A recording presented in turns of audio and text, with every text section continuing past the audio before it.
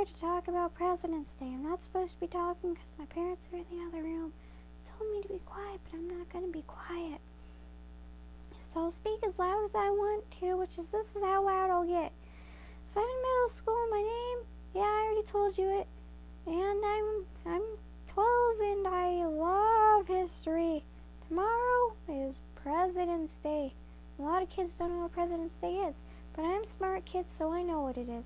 President's Day is a celebration of George Bush's birthday, best president to ever come into America.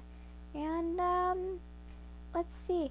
I just want to like this. This video isn't all about President's Day. It's more of a thank you to all the female teachers in there who uh, taught me all the things I know. Um, like they taught me all the presidents I know. Do you know how many presidents I know? I know George Bush, Barack Obama, Bill Clinton, uh, Bill O'Reilly, uh, uh, George Washington, Abraham Lincoln, Teddy Roosevelt, uh, John F. Kennedy, um, Ronald Reagan. I know a lot. That's that's all the ones I know. And I wouldn't know that without the help of my female teachers.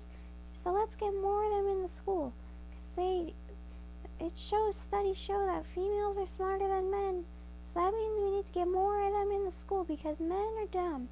I think the Dove the Dove commercials taught me this, and I like to give a shout out to all the Dove commercials out there.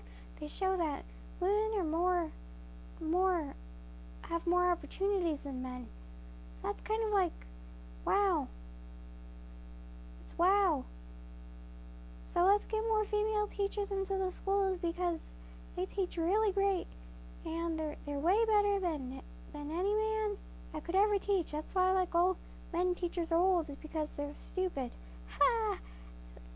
Ha! I love female teachers. I love females. I want one to dominate me. Females dominate America.